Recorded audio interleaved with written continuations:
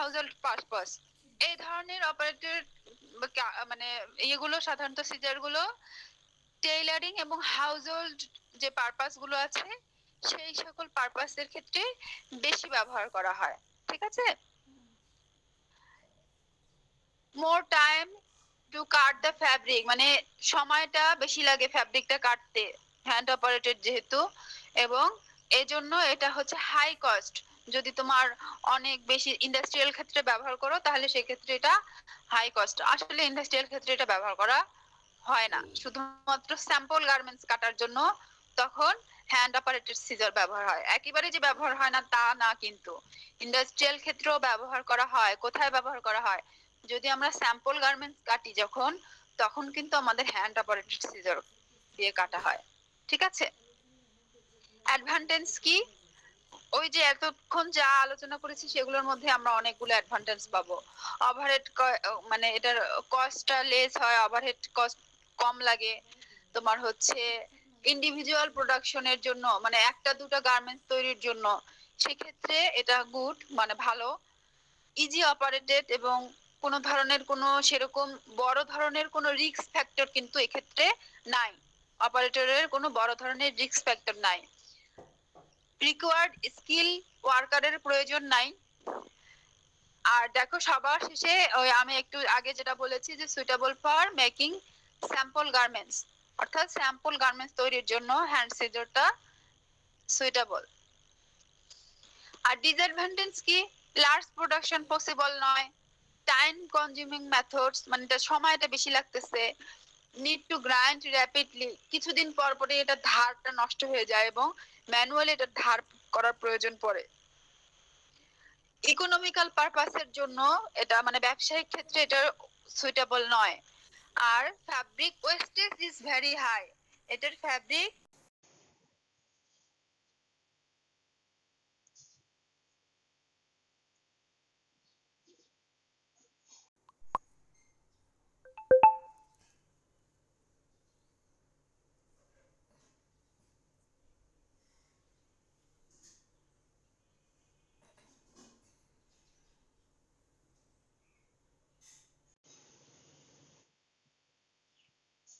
এটার ব্যবহার অনেক বেশি। বিশেষ করে দেখা যায় যে বাংলাদেশের গার্মেন্টস ইন্ডাস্ট্রিতে নাইনটি নাইন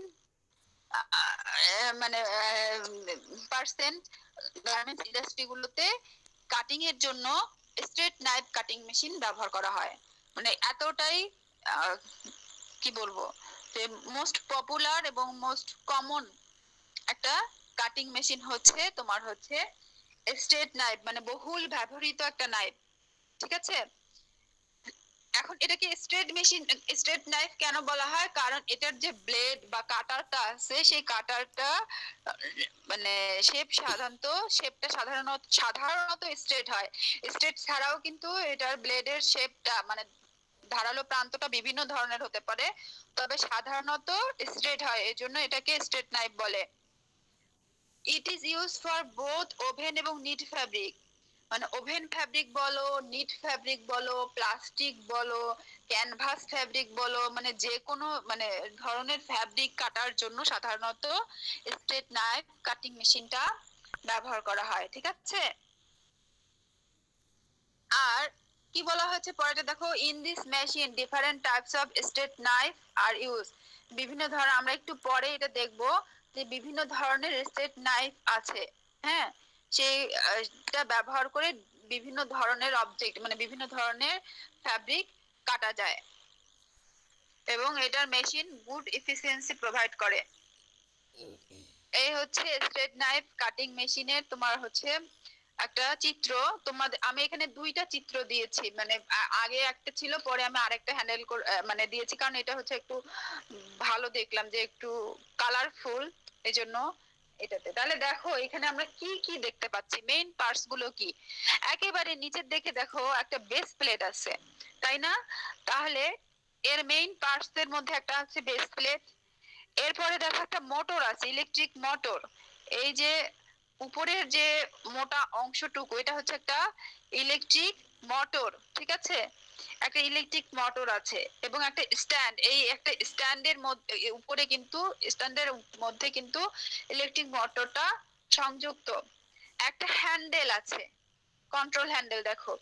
হ্যাঁ? হ্যান্ডেল আছে। স্ট্রেট নাইফ বা তোমার এই যে ভার্টিক্যাল ব্লেড যেটাকে বলা হচ্ছে। হ্যাঁ? এই যে দেখো ভার্টিক্যাল ব্লেড বা এইখানে আসলে এই মূল অংশটুকু, দেখো এটা স্ট্রেট মানে সোজা। এটা কিন্তু রাউন্ড বা কোনো কিছু না। এটা সোজা এই জন্য এই মেশিনটার নাম হচ্ছে স্ট্রেট মেশিন স্ট্রেট নাইফ দেখো, এইটা হচ্ছে ভার্টিক্যাল বা স্ট্রেট নাইফ এরপরে দেখো নাইফ সেফটি গার্ড বা নাইফ গার্ড আছে। যেন দুর্ঘটনার সম্ভাবনাটা কম হয় এই জন্য এখানে কিন্তু একটা সেফটি গার্ড বা নাইফ গার্ড দেওয়া থাকে।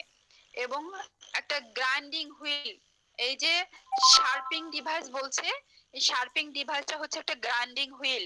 এই একটা গ্রাইন্ডিং হুইল আছে। পাওয়ার এছাড়াও অনেক, আরও অনেক যন্ত্রাংশ আছে। যেমন পাওয়ার সুইচ তো অবশ্যই আছে যে মোটরটা চালানো চালানো যেহেতু এটা বৈদ্যুতিক শক্তির সাহায্যে চলে, এই জন্য এখানে একটা পাওয়ার সুইচ আছে। হুম? এই হচ্ছে মেইনলি মেইন পার্টস তোমরা এই ছবিটাও ফলো করতে পারো। পরবর্তী স্লাইডে দেখো।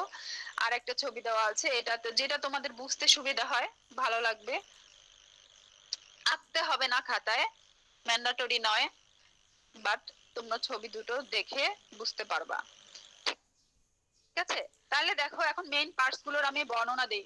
মেইন পার্টসগুলো, এই স্লাইডটা নিয়ে নাও। স্লাইডগুলো নিয়ে নাও স্ক্রিনশট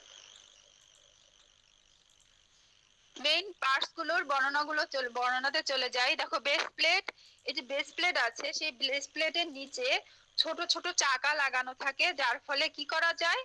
এই মেশিনটাকে কাটিং টেবিলের এক সাইড থেকে অন্য সাইডে সহজেই নাড়াচাড়া করা যায়, অর্থাৎ এক সাইড থেকে অন্য সাইডে নিয়ে যাওয়া যায়, ঠিক আছে? এরপরে দেখো স্ট্যান্ড এবং মোটর একটা যে স্ট্যান্ড বসানো আছে, সেই স্ট্যান্ডের উপরে কিন্তু মোটর বসানো আছে এবং এই মোটরটা বৈদ্যুতিক শক্তির সাহায্যে চালনা করা হয় এবং এই মোটরের কারণেই এখানে কিন্তু এই স্ট্রেট নাইফ কাটিং মেশিন আমি একটা কথা বলি, দুই ধরনের গতি কাজ করে। একটা হচ্ছে বৈদ্যুতিক পাওয়ার আর একটা হচ্ছে ম্যানুয়াল পাওয়ার। এই বৈদ্যুতিক পাওয়ারটা কি? এই বৈদ্যুতিক পাওয়ারের কারণে ফ্যাব্রিকের যে লে থাকে, সেই লে এর উপর থেকে নিচ পর্যন্ত ব্লেডটা চলাচল করতে পারে। যে ভার্টিক্যাল যে ব্লেড আছে, সেই ব্লেডটা এই বৈদ্যুতিক মোটরের সাহায্যে, অর্থাৎ বৈদ্যুতিক শক্তির সাহায্যে লেয়ের ফ্যাব্রিকের লেয়ের উপর থেকে নিচ পর্যন্ত কিন্তু চলাচল করতে পারে। মানে ফ্যাব্রিকটাকে কাটতে পারে, একদম উপরের লে থেকে নিচ, নিচের লে পর্যন্ত।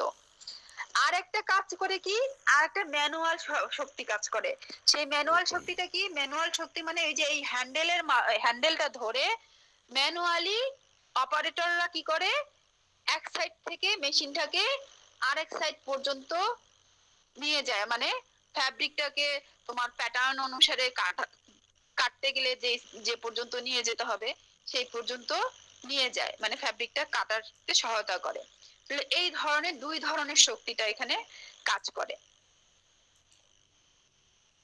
তাহলে আমরা হ্যান্ডেলের কাজ কি? বিভিন্ন দিকে মেশিনটাকে চালনা করা যাচ্ছে।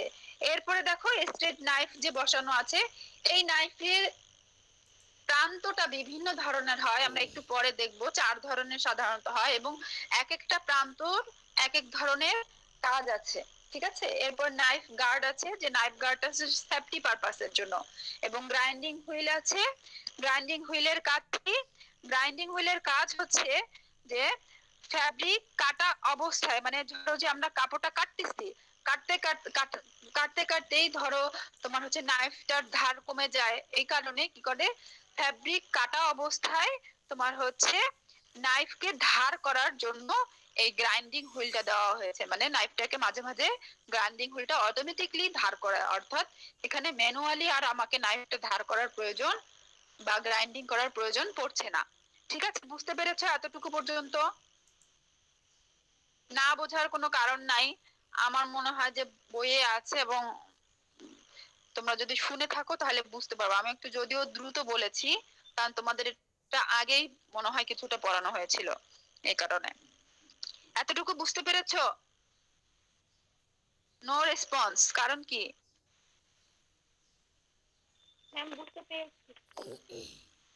সবাই বুঝতে পেরেছ? বুঝতে পেরেছি। আচ্ছা ঠিক আছে কোনো প্রবলেম থাকলে বলবে। তাহলে এই হচ্ছে মেইন পার্টসগুলো এবং মেইন পার্টসগুলোর কাজ। এখন দেখো, এই ব্লেডের উচ্চতা ব্লেডটার উচ্চতা সাধারণত হয় দশ থেকে তেত্রিশ সেন্টিমিটার পর্যন্ত। বর্ণনাগুলো পরবর্তী স্লাইডে দেওয়া আছে। আমি মুখে আগে তোমাদের ছবি দেখে বলতেছি। এই ব্লেডটা দেখো, এই ব্লেডের উচ্চতা সাধারণত হয় দশ থেকে তেত্রিশ সেন্টিমিটার পর্যন্ত। এবং ব্লেডের স্ট্রোক হয় তোমার হচ্ছে আড়াই থেকে সাড়ে চার সেন্টিমিটার পর্যন্ত অর্থাৎ টু পয়েন্ট ফাইভ থেকে ফোর পয়েন্ট ফাইভ সেন্টিমিটার পর্যন্ত। ঠিক আছে? ম্যাম স্ট্রোকটা কি? এখন ব্লেডের স্ট্রোকটা আমি নিজেও খুব একটা ভালো মানে মানে মিনিং পাইলাম না তোমাদের খুঁজেছি। তবে যতটুকু আমার মনে হয় যে এটার তোমার হচ্ছে স্ট্রোকটা বলতে বোঝায় ইয়েটাকে বুঝিয়েছে। উইথকে বোঝানো হতে পারে। আমি শিওর জানলে তোমাদেরকে পরবর্তী ক্লাসে জানাব। ঠিক আছে? আমি আসলে স্ট্রোকের মানে অর্থটা, তোমার মিনিংটা এতবার গুগলে সার্চ দিলাম, কিন্তু ব্লেড স্ট্রোকের আলাদা কি মিনিং আছে, এটা আমি নিজেও বুঝতে পারলাম না। সরি টু সে হ্যাঁ। তো যাই হোক, তোমরা এতটুকুই মনে রেখো যে স্ট্রোক হচ্ছে টু পয়েন্ট ফাইভ সেন্টিমিটার থেকে ফোর পয়েন্ট ফাইভ সেন্টিমিটার আর এটার নাইফের হাইট হচ্ছে দশ থেকে তেত্রিশ সেন্টিমিটার দেখো, আমি ফিচারে চলে আসছি। ফিচারে কিন্তু অবশ্যই আগে মেইন পার্টসগুলো এবং তার কাজগুলো বইয়ে দেওয়া আছে, সেগুলো বলবা। তারপরে এই অংশগুলো বলবা। এটা কি could be use to cut higher depth of fabric এটা হায়ার ডেপথ অফ মানে সাধারণত অধিক উচ্চতা বিশিষ্ট লেয়ার ফ্যাব্রিক কাটার জন্য ব্যবহার করা হয়। অটো গ্রাইন্ডার ইউজ একটু আগে বলেছি। এবং আরেকটা কাজ আছে, এটা অটো লুব্রিকেশনও করে। মানে আমাদের তো অনেক সময় দেখা যায় যে ঘর্ষণের ফলে আমরা জেনেছি যে ফ্যাব্রিক নাইফের সাথে ফ্যাব্রিকের ঘর্ষণের ফলে অনেক সময় ফ্যাব্রিকের কাটাটা ঠিকভাবে হয় না বা তাপ উৎপন্ন হয়। তো এই কারণে নাইফে লুব্রিকেশন করতে হয়। সেই লুব্রিকেশনটা কিন্তু অটো লুব্রিকেশন করা প্রসেস এই মেশিনে দেওয়া আছে।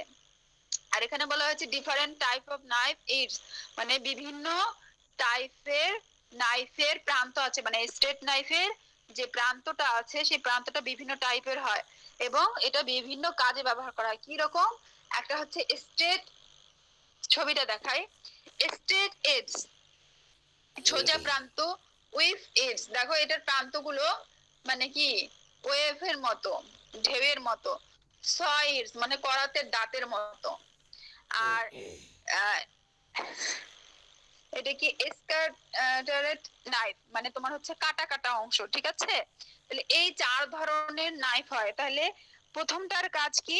প্রথম স্ট্রেট যে প্রান্তটা, সেই প্রান্তটা দিয়ে সাধারণত সবচেয়ে বেশি ব্যবহার করা হয় নরম এবং পাতলা ফ্যাব্রিকের জন্য, বইয়ে জিনিসগুলো দেওয়া আছে। নরম এবং পাতলা ফ্যাব্রিক কাটার জন্য সাধারণত স্ট্রেট প্রান্তটা ব্যবহার করা হয়। আর ওয়েভ প্রান্তটা ব্যবহার করা হয় প্লাস্টিক কাটার জন্য। যে যে কোনো ধরনের প্লাস্টিক ম্যাটেরিয়াল যদি আমরা কাটতে চাই তো সেই ধরনের ম্যাটেরিয়ালগুলো কাটার জন্য ওয়েভ প্রান্তটা ব্যবহার করা হয়। স প্রান্ত যেটা মানে স ইটস যেটা সেটা হচ্ছে ক্যানভাস ফ্যাব্রিক আমরা তাঁবুর জন্য বা কোনো ইয়ের জন্য যে তোমার হচ্ছে ক্যানভাস ফ্যাব্রিকগুলো ইউজ করি সেই ক্যানভাস ফ্যাব্রিকগুলো কাটার জন্য এই করাতের দাঁতের মতো যে স ইটস সেটা ব্যবহার করা হয়। আর স্কাটারেড নাইফ যেটা সেটা হচ্ছে শক্ত এবং মোটা যে সুতির ফ্যাব্রিক আছে সেই শক্ত মোটা সুতির ফ্যাব্রিক কাটার জন্য সাধারণত এই ধরনের প্রান্ত ব্যবহার করা হয়। তাহলে চারটা প্রান্ত দিয়ে কিন্তু চার ধরনের ফ্যাব্রিক কাটার ক্ষেত্রে ব্যবহার করা হচ্ছে। ঠিক আছে? আমরা কিন্তু হ্যাঁ বলো। বইয়ের হচ্ছে একটা চিত্র দেওয়া আছে যেখানে স্পোর্ট নাইফের ধারালো প্রান্তগুলোর কথা বলেছে। ওখানে তিন নাম্বারটাতে মনে হয় নশ বলা আছে। ম্যাম এটাই কি স হ্যাঁ হ্যাঁ হ্যাঁ। ম্যাম ওই ছবিটাতে ভালোভাবে মানে ইয়ে দেওয়া ছবিটা স্পষ্ট না। জি ম্যাম ম্যাম এখানে সয়েজ যেটা পুরো মানে পুরা নাইফটাই কাটা কাটা আর এখানে বইয়ে যেটা দেওয়া আছে সেটা অর্ধেক আড়ি। আমরা যদি চিত্রটা দিতে চাই ম্যাম তাহলে কীভাবে দিব? বইয়েরটা দিব না আমি যেটা স্লাইড দিয়েছি সেটা চিত্রই দিও যদি দিতে চাও। জি ম্যাম ঠিক আছে? ন স্নাইপ আর সয় স্নাইপটা একই সেম এরপরে দেখো আমরা কিন্তু ফিচারের মধ্যেই আছি ফিচারের ফার্স্ট স্লাইড এটা। হ্যাঁ পরের মানে তারপরে ডিফারেন্ট টাইপ অফ স্টেট ব্লেডগুলো এখানেই দিয়ে দিয়েছি যেহেতু ফার্স্ট স্লাইডে আমরা আলোচনা করেছি। দেন সেকেন্ড স্লাইড এটা সেকেন্ড বা থার্ড যেটাই বলো স্ট্রেট নাইফ ফিচারের এখানে কি বলা হচ্ছে? হ্যান্ডেল আছে, যেটা হচ্ছে মানে ডিরেক্ট মানে হ্যান্ডেলটা ঘুরিয়ে তোমার হচ্ছে ডিরেকশনটা ঠিক করা হয় যে মানে কোন ডিরেকশনে আমি ফ্যাব্রিকটা কাটবো। মানে আমি একটু আগে যা যা বলেছি, এখানে সেগুলোই লেখা আছে। নাইফ গার্ড ইজ অ্যাটাচড মানে নাইফ গার্ড দেওয়া আছে in front of the knife নাইফের সম্মুখে একটা নাইফ গার্ড দেওয়া আছে for safety purpose sharp and heavy corners can be cut এই মেশিন দিয়ে শার্প এবং হ্যাভি কর্নার্স যেগুলো আছে, সেগুলো মানে প্রান্তও কিন্তু ফ্যাব্রিকটা দিয়ে কাটা যায়।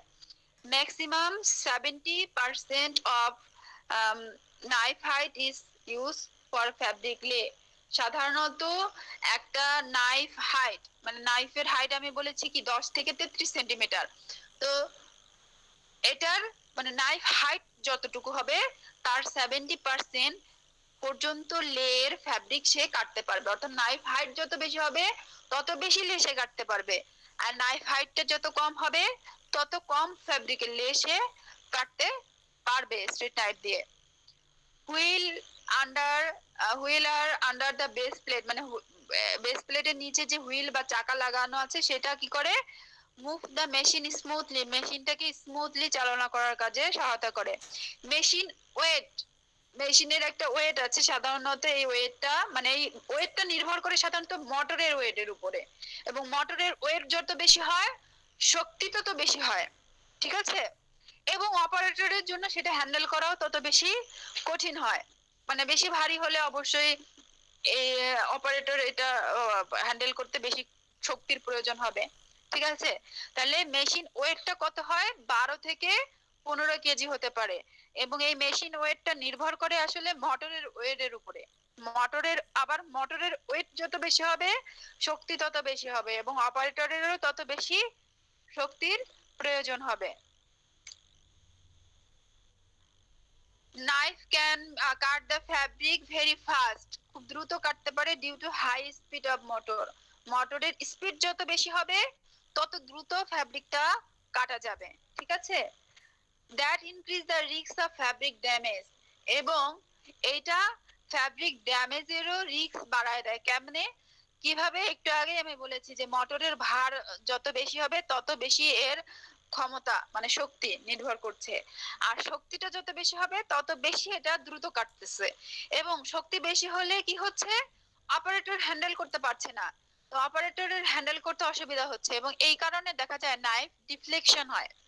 ডিফ্লেকশন কি? নাইফ ডিফ্লেকশন কি? মানে নাইফটা যে পথে চালনা করা দরকার, সেই পথে চালানো হচ্ছে না। মানে নাইফটা নড়ে মানে ডিফ্লেকশন হয়ে যাচ্ছে। ফলে কি হবে? দেখা যাচ্ছে উপরের লে গুলো যতটা যেভাবে কাটছে, নিচের লে গুলো হয়তোবা বাঁকা হয়ে কাটা হচ্ছে মানে ত্রুটিপূর্ণ ফ্যাব্রিক কাটিং হচ্ছে। এই জন্য বলেছে এটা ফ্যাব্রিক ড্যামেজের রিস্কটাকে বাড়িয়ে দেয়। ওকে এই হচ্ছে ফ্যাব্রিক স্টেট নাইফ সম্পর্কে যা যাবতীয়। এরপরে দেখো অ্যাডভান্টেজ কি? একটু আগে কিন্তু আমাদের যা পড়াশোনা সেগুলো থেকে আমরা কিন্তু অ্যাডভান্টেজ ডিসঅ্যাডভান্টেজ বের করতে পারব। এটা কম্পারেটিভলি চিপ অনেক ধর মানে সস্তা, মোটামুটি সস্তা। অন্য অন্য মেশিনের থেকে মানে অন্য অন্য তোমার হচ্ছে যেগুলো আমরা এর পরে পড়ব। সেগুলো মেশিনের থেকে এটা মোটামুটি চিপ এবং can be transfer easily from one place to another এক জায়গা থেকে আরেক জায়গায় সহজে এটা ট্রান্সফার করা যায়। এটার হচ্ছে হায়ার লে অফ হাইট মানে অনেক বেশি উচ্চতা সম্পূর্ণ ফ্যাব্রিকের লে পর্যন্ত এটা খুব ইজিলি কাটতে পারে। আর একটা সুবিধা যেটা আমরা পাবো এখানে, সেটা হচ্ছে round corners can be cut more precisely than even round knife এটা আমরা সবাই ভুল করি। সেটা হচ্ছে আমরা মনে করি যে রাউন্ড নাইফ যেহেতু রাউন্ড তার মানে রাউন্ড নাইফ দিয়ে রাউন্ড কর্নারগুলো বোধহয় কাটা যায়। মানে যেগুলো হচ্ছে, ধরো গলার অংশটা একটু রাউন্ড থাকে, বাঁকা থাকে, বা হাতার অংশটা একটু মানে অর্ধেক, অর্ধবৃত্তাকারের মতো রাউন্ড থাকে। তো এই রাউন্ড কর্নারগুলো মনে হয় হচ্ছে রাউন্ড নাইফ দিয়ে ভালো কাটা যাবে। কিন্তু বিষয়টা সম্পূর্ণ ভিন্ন। রাউন্ড কর্নার রাউন্ড নাইফ দিয়ে কাটা যায় না। রাউন্ড কর্নারগুলো তোমার স্ট্রেট নাইফ দিয়ে সব থেকে ভালো কাটা যায়। ঠিক আছে? এই কথাটা মনে রাখবা। যে রাউন্ড কর্নার রাউন্ড নাইফ দিয়ে কাটা যায় না। রাউন্ড কর্নার সব থেকে ভালো কাটা যায় স্ট্রেট নাইফ দিয়ে। Production speed is very high এটার প্রোডাকশন স্পিড অনেক ভেরি গুড হ্যাঁ অনেক ভালো। এবং up to ten heights can be cut at a time দশ তোমার হচ্ছে, এখানে মনে হয় একটু তোমার ইয়াটা ভুল আসছে। মানে দশ ইঞ্চি হবে হ্যাঁ? ইঞ্চি চিহ্নটা আসে নাই। দশ ইঞ্চি পর্যন্ত উচ্চতা বিশিষ্ট লে কাটা সম্ভব। দশ ইঞ্চি হবে হ্যাঁ? তো দশ ইঞ্চি পর্যন্ত, উচ্চতা পর্যন্ত লে এটা এই ধরনের নাইফ দিয়ে কাটা সম্ভব। আর আরেকটা সুবিধা হচ্ছে গার্মেন্টস কম্পোনেন্ট গুলোকে ডিরেক্টলি সেপারেট করা যায়। ফ্যাব্রিক লে হতে ডিরেক্টলি কাটার পরে ডিরেক্টলি সেপারেট করা যায়। এবং fabric can be cut from any angle যে কোনো অ্যাঙ্গেলে ফ্যাব্রিক কাটা যায়। এবং নাইনটি সাধারণত নাইনটি